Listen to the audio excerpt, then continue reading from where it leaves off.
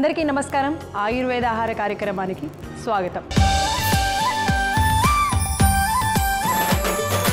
మామూలుగా మనకి ఒక చిన్న అనారోగ్య సమస్య వస్తే ఏం చేస్తాం? వెంటనే అది తగ్గిపోవడానికి టాబ్లెట్స్ వాడేస్తాం.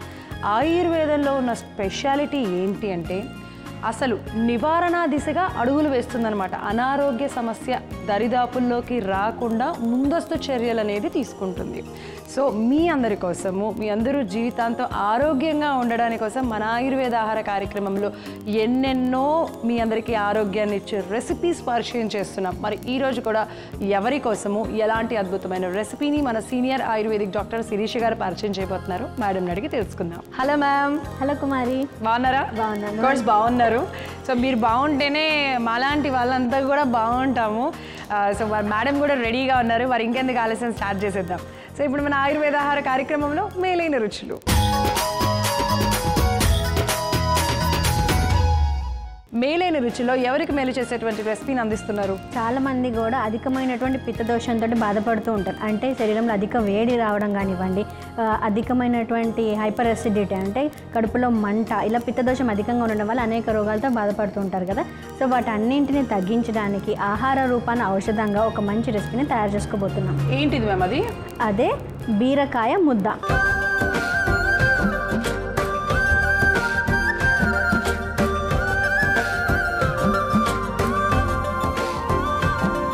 వినటానికైతే చాలా కొత్తగా ఉంది. ఆలోచిస్తూ ఉన్నాను. అసలు బీరకాయతో ముద్ద ఎలా తయారు చేసుకోవచ్చు అని ఇంకా ఆలోచన వద్దులే. ఎలాగో ఇప్పుడు తయారు చేసేస్తాం కదా సో వెయిట్ చేయకండి.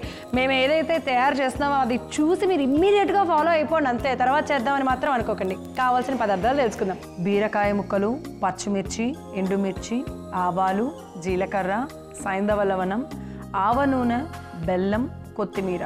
కావాల్సిన పదార్థాలు తెలుసుకున్నాం కదా. ఏమైనా అటు ఇటు కావాల్సి వస్తే మేబీ ఏమన్నా ఆవ నూనె తెచ్చుకోవాల్సి వస్తుందేమో అంతకుమించి మిగతా ఇంగ్రీడియంట్స్ అన్నీ కూడా మన దగ్గర ఉంటాయి. సో ఎలా తయారు చేయాలి ఎవరెవరు తీసుకోవచ్చు అనేది కూడా తెలుసుకుందాం. సో మేము ముందుగా ఏం చేద్దాం?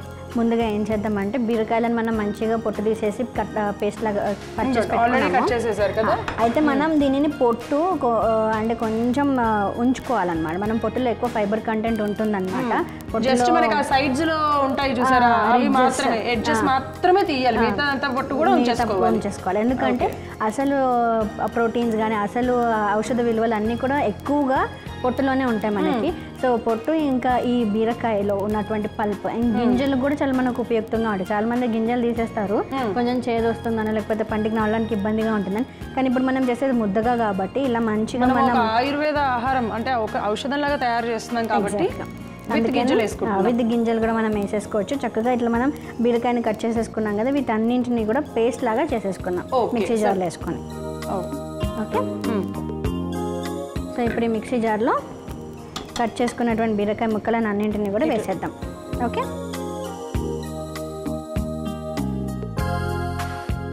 సో అలాగే దానికి పచ్చిమిర్చి ముక్కలు కూడా పచ్చిమిర్చి వేసి కూడా వేసేద్దాం. సో ఇక్కడ చూసారు కదా మనం బీరకాయ ఎక్కువ కారం అవసరం లేదు. బీరకాయకి దానికి తగ్గట్టుగా పచ్చిమిర్చి తీసుకుంటే సరిపోతుంది. ఇక్కడ మేము మూడు పచ్చిమిర్చీలు తీసుకున్నాము. సో పచ్చిమిర్చీలు వేసుకుంటున్నాము.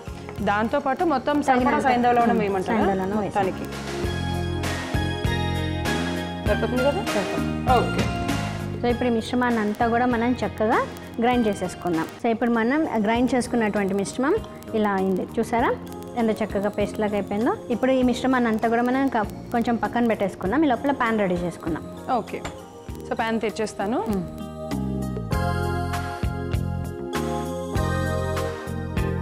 స్టవ్ ఆన్ చేసేనా? మ్మ్. స్టవ్ ఆన్ చేసేయండి. బీరకాయని డైరెక్ట్ అలా కాయలు కాయలుగా అంటే మనం అలా జస్ట్ బీరకాయలు ఉల్లిపాయలు వేసుకోను లేకపోతే కొంతమంది కందిపప్పు లేకపోతే శనగపప్పు వేసుకొని తినడం తప్పితే. అంటే నేను అలానే చూశాను బట్ ఇప్పటి వరకు ఇలా చూడలేదు. ఇప్పుడు మనం తయారు చేసేది డైరెక్ట్గా తినడానికా లేకపోతే అన్నంలో కలుపుకొని తినే టైప్లోనా సో ఇది మనం అన్నంలో తింటే చాలా టేస్టీగా ఉంటుంది మంచిగా నెయ్యి వేసుకొని తినాలి. అలానే చపాతీ కూరలాగా కూడా తీసేసుకోవచ్చు అనమాట. అయితే ఇప్పుడు దీంట్లో ఇక్కడ నూనె అనేది ఆవ నూనె పెట్టారు మీరు. ఎందుకు పెట్టారో కూడా చెప్పండి. నేను ఫస్ట్ అయితే కనుక నూనె వేస్తాను లోపల వేడవుతూ ఉంటుంది కదా. ఎంత ఏమంటారు? ఒక టూ స్పూన్స్ వేసేద్దాం. టూ స్పూన్స్ మామూలుగా ఆవ నూనె అనేది చాలా వేడి చేస్తుంది. ఏ పచ్చళ్ళల్లో తప్పితే కూరల్లో తక్కువ. అంటే ఒకటి రెండు కూరల్లో వాడతాం తప్పితే తక్కువ కదా. ఎందుకు ఇప్పుడు దీనికి ఆవ నూనె ప్రిఫర్ చేశారు? ప్రిఫర్ ఎందుకు చేసాము అని అంటే ఈ కాంబినేషన్ అంటే బీరకాయ చాలా మనకి పథ్యంగా ఉంటుంది. మన శరీరంలో అధిక వేడిని కూడా తగ్గిస్తుంది కదా. సో ఈ ఈ కాంబినేషన్ అంటే ఈ ఆవ నూనెకి ఈ బీరకాయ కాంబినేషన్లో మనం ఆవ నూనెతో చేస్తే ఏమవుతుందంటే హైపర్ అసిడిటీ అంటే అధికమైనటువంటి పిత్తదోషాన్ని తగ్గిస్తూ అలానే మనకి స్కిన్ ప్రా ప్రాబ్లం కూడా రాకుండా అంటే రక్తాన్ని శుద్ధి చేసేటువంటి ప్రాపర్టీస్ కూడా మనకి ఇస్తుంది. ఓకే. సో అంటే ఆవ నూనె అనేది ఇప్పుడు మన మన డైట్లో యూజ్ చేసుకోవచ్చా. యాక్చువల్గా మనము ఆయిల్స్ యూస్ చేసేటప్పుడు కూడా ఒకటే ఆయిల్ని కంటిన్యూగా యూస్ చేయకూడదు. మనం ఆయిల్స్ని వన్ మంత్కి ఒకసారి లేకపోతే టూ మంత్స్కి ఒకసారి అయినా మారుస్తూ ఉండాలి. ఒకసారి సన్ఫ్లవర్ ఆయిల్ ఒకసారి జింజలి ఆయిల్ ఇట్లా ఆవ నూనె తర్వాత ఆముదం నూనె కూడా అప్పుడప్పుడు మనం వాడుతూ ఉండాలి. అయితేనే మనకి మన శరీరంలో ఉన్నటువంటి అన్ని అవయవాలు కూడా కరెక్ట్గా పనిచేస్తాయి. మోషన్ ఫ్రీగా అవ్వడము మనకు కావాల్సిన న్యూట్రిషన్ అందడము ఇవన్నీ కూడా అన్ని దోషాలు సమతుల్యంగా ఉండాలంటే ఆయిల్స్ మారుస్తూ నూనె. నువ్వుల నూనె ఇలాంటివన్నీ. కూడా వాడుతూ ఉండాలి. సో మ్యామ్ ఇక్కడ నూనె కూడా మంచిగా వేడైపోయింది. ఎంత కావాలో అంత. అంటే ఆవాలు వేస్తే చిటపట్లాడేంత. సో ఇప్పుడు నేను వేస్తాను చూడండి ఎట్లా చిటపట్లాడతాయి. ఇయే కమాన్ ఒక హాఫ్ స్పూన్ అయితే మనం వేసుకున్నాము. అలాగే ఒక హాఫ్ స్పూన్ జీలకర్ర ఎందుకంటే మేడం హాఫ్ స్పూన్ అనేది చెప్తూ ఉంటారు కాబట్టి నేను అలా ఫిక్స్డ్ రేట్ వేసేసాను. ఇప్పుడు ఎండుమిర్చిని పెద్ద పెద్దగా వేసేయమంటారు? చిన్నగా కట్ చేసి వేసేద్దాం ఓకే ఇప్పుడు ఒక్కొక్కటి చిన్న చిన్నగా వేయమంటారు? ఎందుకు అట్లాగా? అంటే ముద్ద అనుకున్నాం ముద్ద అన్నట్టు అనుకున్నాం అని అంతే. Okay okay. ఒకవేళ మీకు అది ఇబ్బంది అనిపిస్తే మనం గ్రైండ్ చేసేటప్పుడు కూడా అది కూడా దానిలో వేసేసేయచ్చు మిక్సీ జార్లో. సో కారం అదంతా కూడా కలర్ కూడా కొంచెం మారిపోతుంది అప్పుడు. ఓకే సో ఇవి వేసేసుకున్నాము. ఒకసారి కలిపేసుకుందాం. అండ్ మనము ఇంకా కూడా వేసేయండి. ఎస్ ఇది కూడా వేసేద్దాము. ఇవన్నీ వేసేసుకొని కొద్దిగా వేగిపోయినాయి మంచిగా. సో మనం ఇక్కడ ఏదైతే పేస్ట్ చేసుకున్నామో బీరకాయ తొక్కు పేస్ట్ అది కూడా వేసేసుకుందాం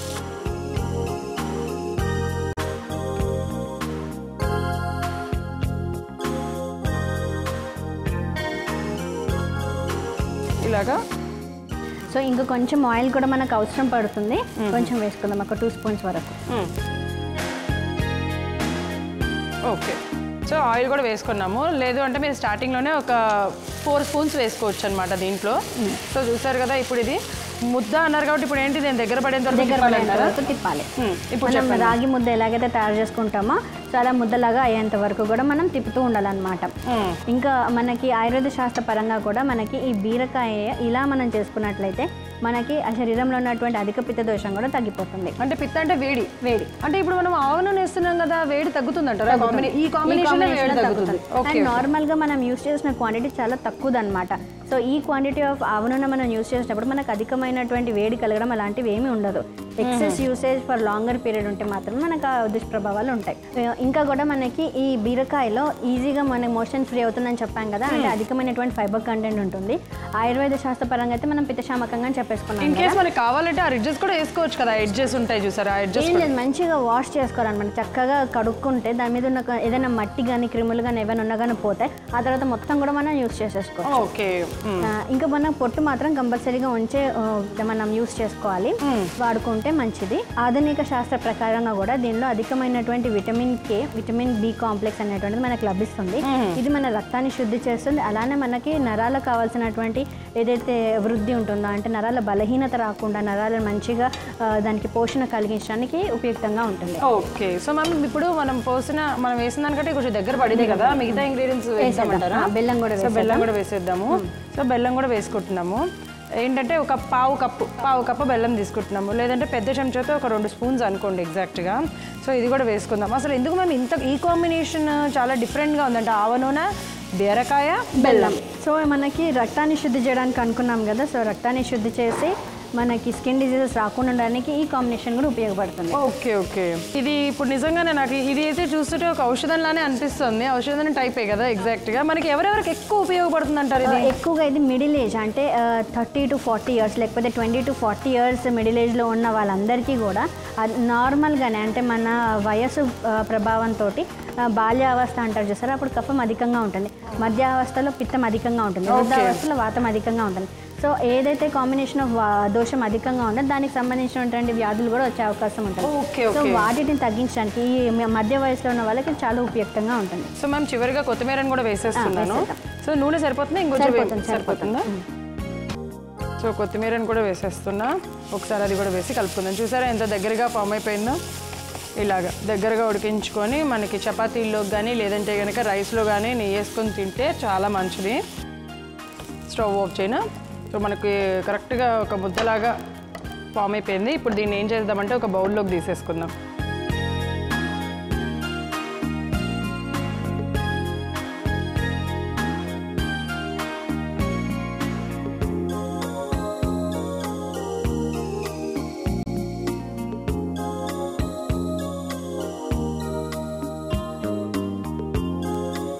దీనిపైన లైట్గా ఆయిల్ స్పూన్తో జస్ట్ ఇట్లా ఇట్లా అంటాను. సో దట్ బాగుంటుంది కదా. బౌల్లో రివర్స్ చేయడానికి. సో ఇదిగో. సో ఉప్మా అనుకొని అలానే తినేసారు దీన్ని. దాన్ని కొంచెం రైస్లో కలుపుకొని తినాలి. ఓకే? అప్పుడు దీని యొక్క టేస్ట్ కానీ దీని యొక్క ఆరోగ్య మన బెనిఫిట్స్ అన్నీ కూడా మనకు అందుతాయి. సో శరీరంలో ఉన్నటువంటి అధిక పిత్తదోషాన్ని తగ్గిస్తూ మనకి హైపర్ అసిడిటీని కూడా తగ్గించేటువంటిది ఒక మంచి రెసిపీ. బీరకాయ ముద్ద రెడీగా ఉంది. ఓకే. సో చూసారు కదా బీరకాయ ముద్ద రెడీ అయిపోయిందండి. చాలా కొత్తగా ఎంతో డిఫరెంట్గా ఉంది. అండ్ అసలు ఆవ నూనె వేసి ఆవ నూనెలో అలా బీరకాయ ఏమంటారు ఆ పేస్ట్ వేగుతుంటే అసలు చాలా అంటే చాలా గుమ్గుమలు ఆడిపోయింది తెలుసా? మరి టేస్ట్ ఎట్లుంటుందో ఒకసారి చూద్దాము. సో టేస్ట్ చూద్దాం.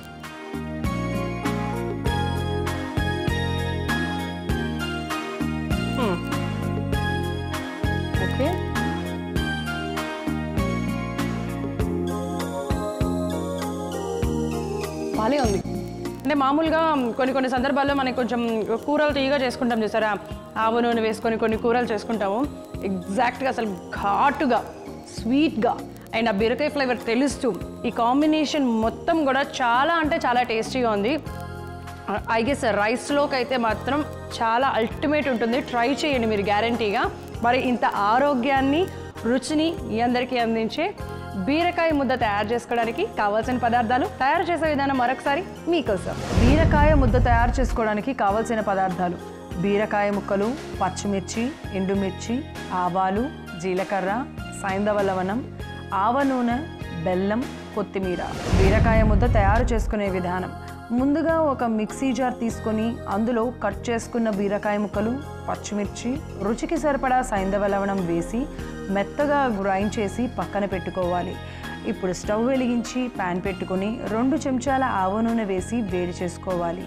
నూనె వేడయ్యాక అర చెంచా ఆవాలు అర చెంచా జీలకర్ర ఎండుమిర్చి అలాగే బీరకాయ పేస్ట్ వేసి కాసేపు ఉడికించుకోవాలి. మిశ్రమం దగ్గరగా అయ్యాక బెల్లం వేసి కొత్తిమీరను కూడా వేసి కలుపుకొని స్టవ్ ఆఫ్ చేసి సర్వింగ్ బౌల్లోకి తీసుకుంటే శరీరానికి విటమిన్ కే ఎన్ అందించి రక్తశుద్ధి చేసి అధిక పిత్త దోషాన్ని నరాల బలహీనతను చర్మ సమస్యలను తగ్గించి బీరకాయ ముద్ద రెడీ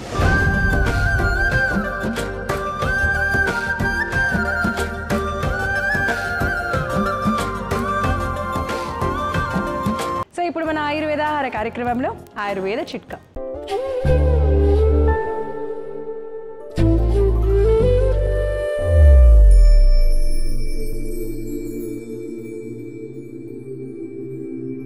శరీరంలో ఉన్నటువంటి అధిక కొలెస్ట్రాల్ తగ్గించడానికి ఆయుర్వేదంలో ఒక చక్కని చిట్కా ఉంది.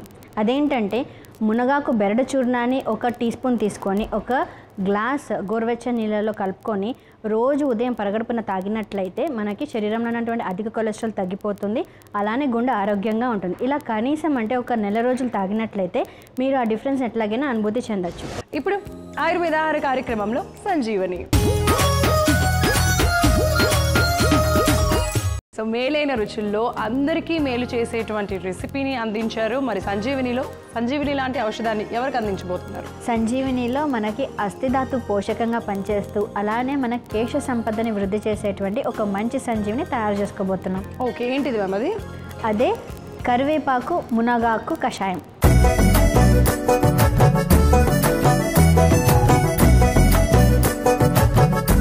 కరివేపాకు మునగాకు కషాయం తయారు చేసుకోబోతున్నాం. మరి దానికి కావాల్సిన పదార్థాలు ఏంటో తెలుసుకుందాం. కరివేపాకు మునగాకు గులాబీ రేకులు. కావాల్సిన పదార్థాలు తెలుసుకున్నాం కదా ఎలా తయారు చేయాలో ఏంటో కూడా చూసేద్దాం.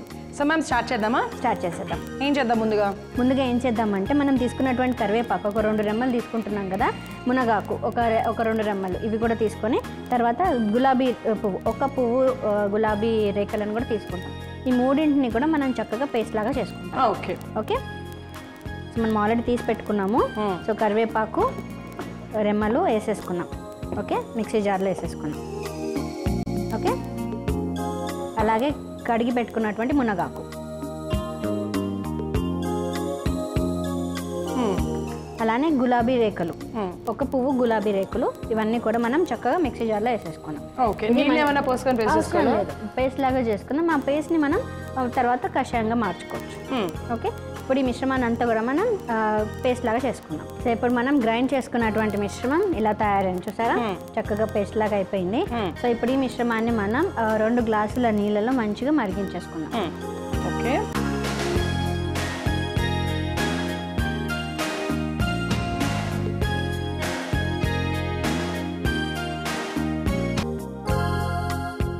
రెండు గ్లాసులు నీళ్ళు పోసుకుంటున్నాము. మిశ్రమాన్ని అంతా కూడా మనం వేసేసుకో వేసేసాను ఇప్పుడు ఇప్పుడే వేయనా? వేసేయండి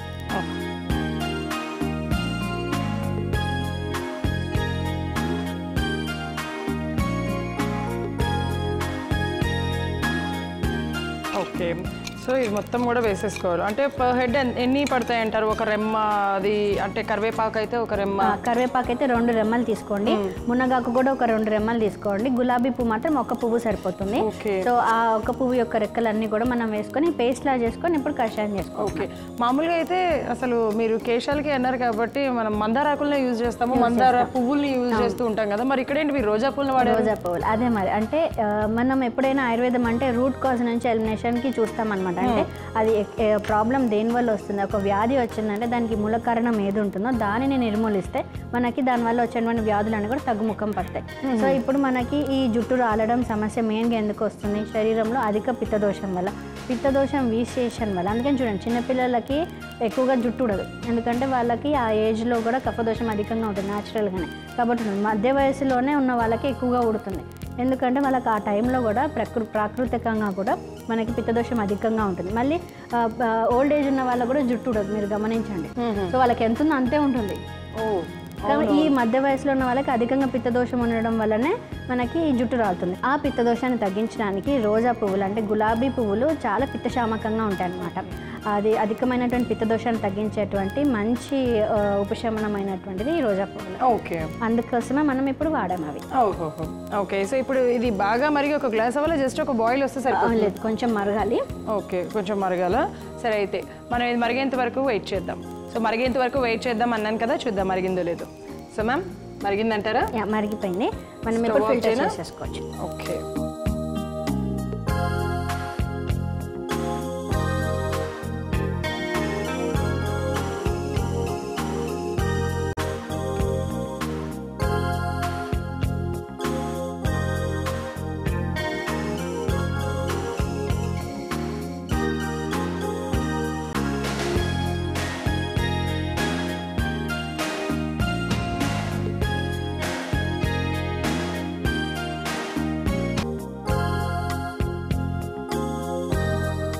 ఇప్పుడు చక్కగా మనం ఫిల్టర్ చేసేసుకున్నాం కదా ఇప్పుడు ఈ కషాయం రెడీగా ఉంది. అండ్ ముఖ్యంగా మనకి జుట్టు ఊడడానికి ఇంకొక రెండు మూడు సమస్యలు కూడా ఉంటాయి అనమాట మనకి అధికంగా డాండ్రఫ్ ఉన్నప్పుడు కూడా అంటే స్కాల్ప్ పైన ఉన్నటువంటి ఏదైతే ఇంప్యూరిటీస్ ఉంటాయో లేకపోతే మట్టి మనం సరిగ్గా వాష్ చేసుకోకపోవడం వల్ల హైజీన్ మెయింటైన్ చేసుకోకపోవడం వల్ల మనకి పెచ్చులు పెచ్చులుగా కూడా వచ్చేస్తుంది. పెయిన్ ఉండడం వల్ల కూడా. సో అలాంటి ప్రాబ్లమ్స్ వల్ల కూడా మనకి రూట్ అనేటువంటిది డ్యామేజ్ అవుతుంది. సో అలా డ్యామేజ్ అవ్వకుండా మనం హైజీన్ మెయింటైన్ చేసుకోవాలి. డ్రై అయిపోతూ ఉంటుంది కదా హెయిర్ కూడా. సో అందుకనే ఆయిల్ పెట్టుకోవడం చాలా ఇంపార్టెంట్ వారానికి రెండు మూడు సార్లు ఖచ్చితంగా ఆయిల్ పెట్టుకోవాలి. వీలైతే రోజు రాత్రి ఆయిల్ పెట్టుకుంటే మనకి మైండ్ కూడా ప్రశాంతంగా ఉంటుంది జుట్టు కూడా ఉడకుండా ఉంటుంది. అండ్ రోజు పొద్దున్న లేవగానే ఇలాంటి ఒక కషాయం మనం తాగినట్లయితే మనకి అస్థిధాతు పోషకంగా పనిచేస్తూ అలానే జుట్టు రాలకుండా మనకి ఉపయోగపడుతుంది. ఓకే. సో ఇన్ని బెనిఫిట్స్ ఉన్నాయన్నమాట మనకి కషాయం వల్ల. సో ఇది ఎంత తీసుకోవచ్చు రోజు? రోజుకి ఇలా ఒక గ్లాస్ చొప్పున తాగేసేయచ్చు మనం. ఓకే ఎవరైనా ఎవరైనా తీసుకోవచ్చు ఏజ్ వాళ్ళైనా ముఖ్యంగా మనం ఇందాక ఇది మాట్లాడుకున్నట్టు మధ్య వయసులో ఉన్న వాళ్ళు ఖచ్చితంగా రోజు తీసుకుంటే వాళ్ళకి అస్థిదాత అంటే బోన్స్ కూడా మంచిగా హెల్దీగా ఉంటాయి. విన్నారు కదా? అంటే అధిక వేడిని తగ్గించడంతో పాటు జుట్టు ఓడకుండా ఈ రోజుల్లో ఎక్కువగా ఉన్న సమస్య అది కూడా. కాబట్టి దాని నుంచి కూడా మనము బయటపడవచ్చు అనమాట సో మరి దీనికి కావాల్సిన పదార్థాలు తయారు చేసే విధానం మరొకసారి మీకోసం. కరివేపాకు మునగాకు కషాయం తయారు చేసుకోవడానికి కావాల్సిన పదార్థాలు. కరివేపాకు మునగాకు గులాబీ రేకులు. కరివేపాకు మునగాకు కషాయం తయారు చేసుకునే విధానం. ముందుగా ఒక మిక్సీ జార్ తీసుకొని అందులో కరివేపాకు మునగాకు గులాబీ రేకులు వేసి మెత్తగా పేస్ట్ లాగా గ్రైండ్ చేసుకోవాలి. తరువాత స్టవ్ వెలిగించి గిన్నె పెట్టుకొని రెండు గ్లాసుల నీళ్ళు గ్రైండ్ చేసుకున్న మిశ్రమాన్ని వేసి బాగా మరిగించుకోవాలి.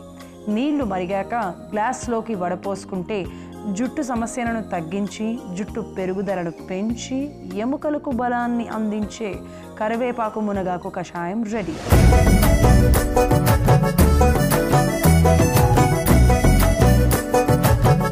సో ఇలా ఫాలో అవ్వండి ఆరోగ్యంగా ఉండండి. And thank you very much ma'am మంచి రెసిపీ అలాగే ఔషధాన్ని అందించడం. Thank you Kumari yeah so వచ్చే ఎపిసోడ్లో మరిన్ని ఔషధయుక్తమైన ఆరోగ్యకరమైన రుచికరమైన రెసిపీస్తో మేము ఇద్దరం మీ ముందుంటాం. అంతవరకు చూస్తూనే ఉండండి ఈటీవీ అభిరుచి. నమస్తే. నమస్తే.